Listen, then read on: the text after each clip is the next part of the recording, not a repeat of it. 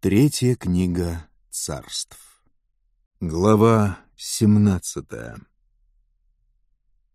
Илья из Тишбы Геладской сказал Ахаву, «Жив Господь, Бог Израиля, в которому я служу.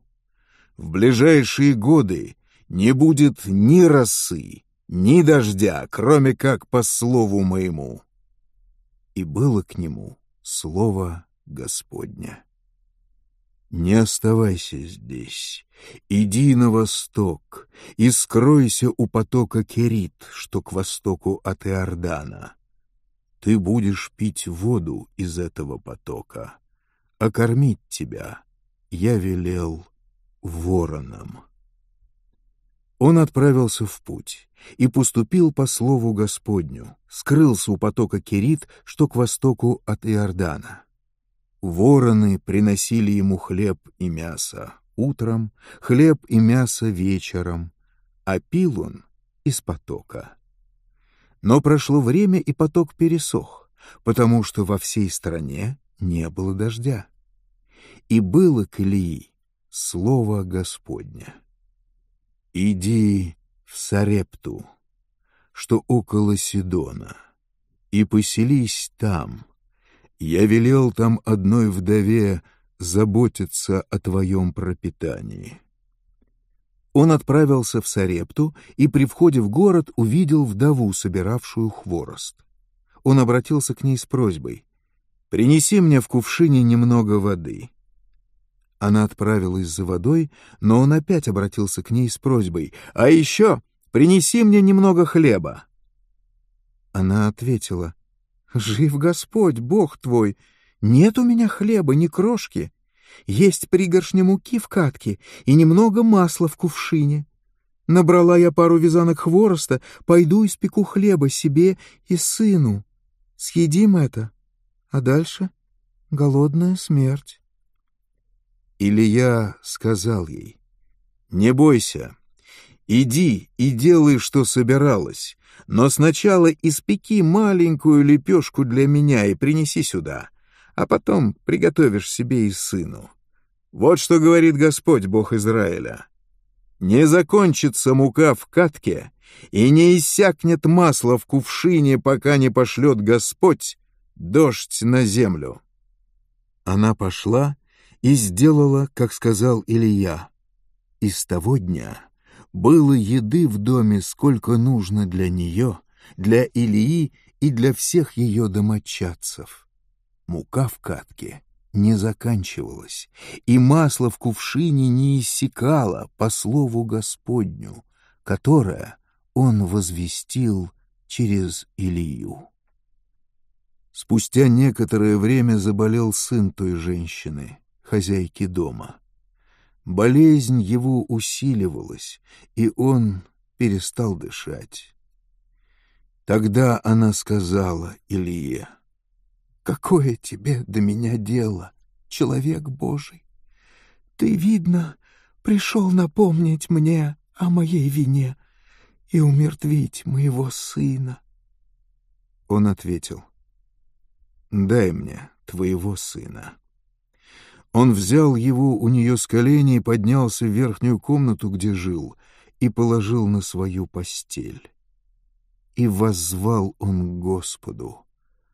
«Господи, Боже мой, неужели и вдове, у которой я живу, ты причинил горе, умертвив ее сына?» Трижды простирался он над телом ребенка и взывал при этом Господу «Прошу Тебя, Господи, Боже мой, верни дыхание жизни в тело ребенка». Господь услышал молитву Илии, и ребенок задышал и ожил. Взяв ребенка, Илья спустился с ним из верхней комнаты дома и отдал его матери со словами.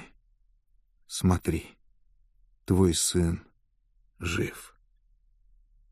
И ответила Илии женщина. «Теперь я знаю, что ты человек Божий, и в твоих устах поистине слово Господне». Глава восемнадцатая Прошло время, и на третий год было к Илии слово Господня. «Иди и предстань перед Ахавом, и я пошлю дождь на землю». Илья пошел, чтобы предстать перед Ахавом. В Самарии был тогда жестокий голод. Ахав призвал Авдия, управляющего дворцом, а Авдий глубоко почитал Господа, и когда Иезавель истребляла пророков Господних, Авдий взял сто пророков, спрятал их в двух пещерах по пятидесяти человек в каждой и доставлял им хлеб и воду. Ахав сказал Авдию, «Пройдем по стране, по всем водным источникам и речным руслам. Может быть, найдем траву, прокормить лошадей и мулов, чтобы не пришлось резать весь скот». Они разделили между собой страну, кто куда пойдет, и Ахав пошел в одну сторону, а Авдий — в другую. По пути Авдий встретил Илью и, узнав его, пал ниц и спросил, «Ты ли это, владыка мой Илья?» «Да, я», — сказал тот. «Иди и сообщи своему владыке, что Илья здесь». Чем же провинился я, что ты предаешь меня, своего слугу, Ахаву, на верную смерть? — ответил Авдий. Жив Господь, Бог твой! Нет такого народа и царства, куда мой владыка не посылал бы искать тебя, и когда говорили ему, что тебя там нет, он заставлял тот народ или царство поклясться, что они действительно не могли тебя отыскать. А ты теперь говоришь, иди и сообщи своему владыке, что Илья здесь. Едва я оставлю тебя, как дух Господень унесет тебя неведомо куда. Я приду и сообщу Ахаву, а он, не найдя тебя на месте, убьет меня. А ведь я твой слуга, благоговею пред Господом с юности. Разве не сказали владыке моему, что я сделал, когда Иезавель убивала пророков Господних? Я спрятал сто пророков в двух пещерах, по пятидесяти человек в каждой, и доставлял им хлеб и воду. А ты теперь говоришь, иди и скажи своему владыке, что Илья здесь. Он убьет меня. Илья ответил. «Жив Господь воинств, которому я служу. Сегодня я сам предстану перед Ахавом». Авдий отправился к Ахаву и сообщил ему об этом, и тот вышел навстречу Илии. Едва завидев Илью, Ахав воскликнул. «Ты ли это, виновник всех бедствий Израиля?» «Не по моей вине постигли Израиль эти бедствия», — ответил ему Илья, — «а по твоей и по вине рода отца твоего. Вы отвергли повеление Господни и пустились вслед за Ваалами. Так пошли теперь гонцов» за всеми израильтянами. Собери их мне на горе кормил, и пусть придут четыреста пятьдесят пророков Ваала и четыреста пророков из рощ, посвященных Ашере, которые кормятся со стола Иезавели. Ахав послал гонцов по всему Израилю и собрал пророков на горе Кормил. Илья вышел к народу и сказал, «Долго ли вы будете метаться из стороны в сторону? Если Господь ваш Бог, так идите за Ним, а если Ваал, то за Ним». Но народ не ответил ему ни слова. Тогда Илья сказал народу, «Из пророков Господних здесь лишь я один, а у Ваала четыреста пятьдесят пророков. Пусть дадут нам двух тельцов, и они выберут себе одного, рассекут его на части и положат на дрова, но огня пусть не зажигают. А я приготовлю другого тельца, положу его на дрова, но огня зажигать не стану. И вы призовете имя своего Бога, а я призову имя Господа. Какой Бог пошлет в ответ огонь, тот и есть истинный Бог. «Хорошо», — ответил народ. «Выберите себе тельца», — сказал Илья пророком Ваала, «и приготовьте его первыми, ведь вас так много. Призывайте имя своего Бога, но огня не разводите». Они взяли одного из двух предложенных им тельцов, сделали все, что нужно, и стали призывать имя Ваала. С утра до полудня они кричали «Ваал, ответь нам!» Но ни звука не было им в ответ. Они продолжали скакать вокруг жертвенника, который соорудили.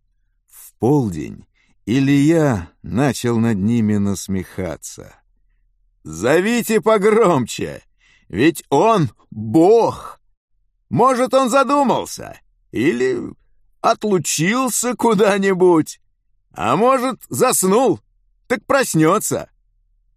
Они стали кричать громче и колоть себя по обычаю мечами и копьями, так что полилась кровь. Прошел полдень, и они безумствовали вплоть до вечернего жертвоприношения. Но ни звука не было им в ответ. Ничего. Тогда Илья сказал народу, «Подойдите ко мне». Все подошли, и он восстановил разрушенный жертвенник Господень. Илья взял двенадцать камней по числу колен, сыновей Иакова, которому было слово Господне «Будет имя тебе Израиль». Из этих камней он устроил жертвенник во имя Господне и вокруг прокопал канаву, в которую вместилось бы две меры зерна, около пятнадцати литров. Он разложил дрова, рассек на части тельца и положил на дрова. Затем он велел наполнить водой четыре кувшина и вылить воду на жертву всесожжения и на дрова. Так и сделали он велел сделать также во второй и в третий раз. И это было исполнено, так что вода растеклась вокруг жертвенника и даже наполнила канаву. И когда настало время вечернего жертвоприношения, пророк Илья подошел к жертвеннику и произнес «Господи!» Боже Авраама, Исаака и Израиля. Пусть узнают они сегодня, что Ты Бог в Израиле, а я слуга Твой, и сделал все это по слову Твоему. Ответь мне, Господи, ответь мне, и пусть знает этот народ, что Ты, Господь Бог. Тогда ты возвратишь себе их сердца. Не спал огонь Господень и спалил жертву вместе с дровами и камнями, землей и водой в канаве. Когда народ увидел это, все пали ниц, восклицая «Господь наш Бог! Господь наш Бог!» Тогда Илья сказал им «Хватайте пророков Ваала, чтобы никто не убежал!» Схватили их, привели к потоку Кишон, и там Илья их перебил. Илья сказал Ахаву «Иди, ешь и пей, уже слышен шум дождя. Ахав отправился есть. А Илья взошел на вершину горы Кормил, пал на землю и скрыл лицо между коленей. «Иди и посмотри в сторону моря», — велел он слуге. Тот пошел посмотреть и ответил. «Там ничего нет». Но Илья велел ему сделать так семь раз. На седьмой раз тот сообщил. «Облако с человеческую ладонь приближается с моря». «Иди и передай Ахаву», — велел Илья, «чтобы запрягал и уезжал, а то не сможет проехать из-за ливня». Мало-помалу небо потемнело, обложенное тучами.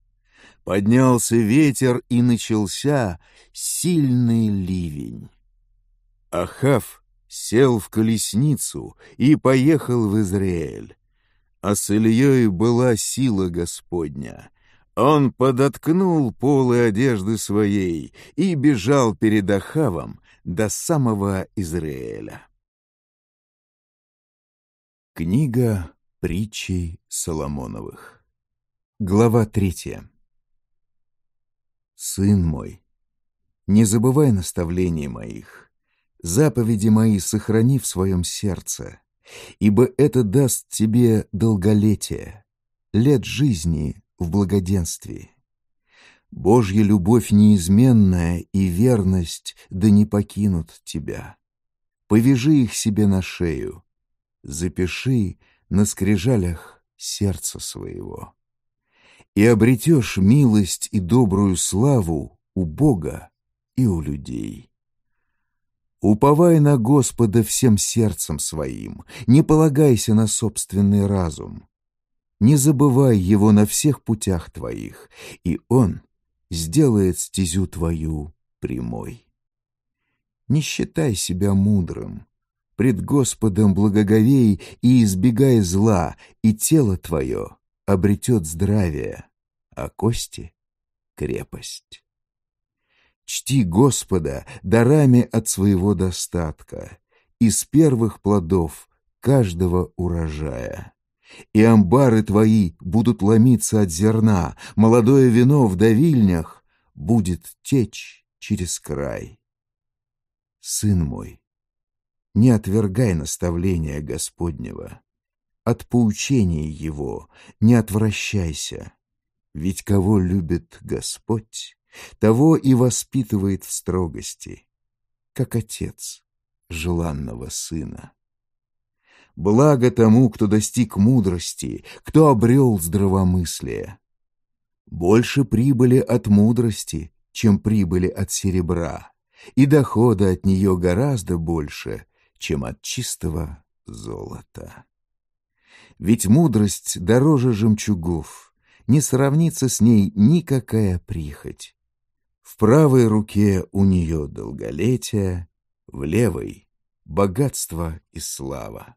Все пути ее — пути радости, все стези ее — благоденствия.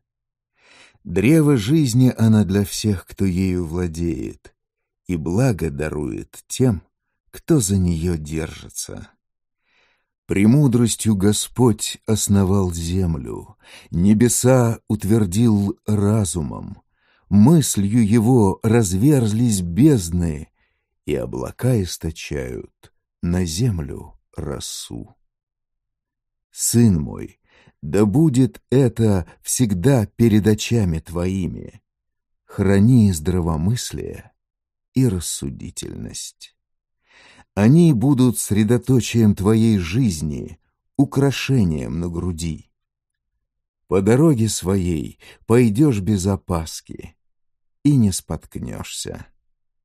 Ложиться спать будешь без боязни, ляжешь, и сон будет в радость тебе. Не будешь бояться ни внезапной беды, ни погибели, что грозит нечестивцам, ибо Господь будет твоей надеждой и не даст тебе ступить в западню. Не отказывай в благодеянии страждущему, если в силах оказать его. Не говори ближнему «ступай, приди потом, помогу тебе завтра», если у тебя есть что дать. Не замышляй зла против ближнего, против соседа, который тебе доверяет. Не ссорься понапрасну с тем, кто не причинил тебе зла. Не завидуй злодею. На путь его не вступай, ибо коварный человек отвратителен Господу, но к праведным он благоволит. На доме нечестивца проклятие Господа, а жилище праведников он благословляет. Над насмешниками посмеется Господь, а к смиренным он милостив. Мудрые наследуют славу, а глупых ожидает бесчестие. Второе послание апостола Павла христианам в Коринфе. Глава пятая. Мы ведь знаем, когда бы ни был разрушен земной наш дом, наше временное пристанище, у нас есть на небесах нерукотворный, вечный, Богом приготовленный дом. Теперь же, в нынешнем своем теле, нам остается вздыхать, томясь желанием облечься в небесное наше жилище. Только в таком одеянии мы не окажемся нагими навсегда. Оставаясь до времени здесь, в бренной хижине нашей, мы сокрушаемся, неся свое бремя, но хотим нераздетыми оказаться, а облечься в наше небесное жилище, дабы смертное поглощено было жизнью вечной. Такую судьбу уготовил нам сам Бог. В залог всего Он и Духа дал нам. Вот почему мы всегда спокойны и знаем, что, обитая в теле своем, мы пребываем на чужбине, вдали от Господа, и живем мы верою, а не видением. Мы спокойны, повторяю я, и уже теперь предпочли бы расстаться с этим телом и обосноваться в доме своем у Господа. А потому цель наша в том, чтобы угождать Ему всегда и всюду, в доме ли мы или на чужбине. Ведь всем нам предстоит оказаться совершенно открытыми пред судом Христовым, чтобы каждый получил по заслугам за все то, что сделал он в земной своей жизни, и за доброе, и за плохое. Благоговея перед Господом, мы стремимся людей убедить. Богу же мы хорошо известны. Надеюсь, что также известны и вашей совести. А говорим мы об этом снова не для того, чтобы возвеличить себя перед вами, но с тем, чтобы дать вам повод хвалиться нами, чтобы было у вас что сказать всякому, кто гордится своими внешними преимуществами, а не тем, что у него на сердце. И если мы безумны были, то это ради Бога. Если же в здравом уме — то это ради вас. Нами движет любовь Христова с тех пор, как мы пришли к убеждению. Один умер за всех, значит, умерли все. Христос за всех умер, дабы живые уже не для себя жили, но для умершего за них и воскресшего. Так что ни о ком отныне мы не судим только по человеческим понятиям. Если прежде мы и Христа так понимали, то теперь уже не так знаем Его. Ибо кто во Христе, тот новое творение. Для Него прежнее ушло, стало все новым. И все это от Бога. Он примирил нас с собой через Христа и поручил нам служение примирения. Я имею в виду, что Бог через Христа примирял с собою мир, не вменяя людям в вину их преступлений. И Он доверил нам слово примирения. Мы, стало быть, посланники Христовы. И мы, как если бы сам Бог взывал к вам через нас, просим от имени Христа. Примите Богом даруемое вам примирение. Он на Христа, не знавшего греха, возложил грехи всех нас, чтобы мы в нем стали сопричастны праведности Божией.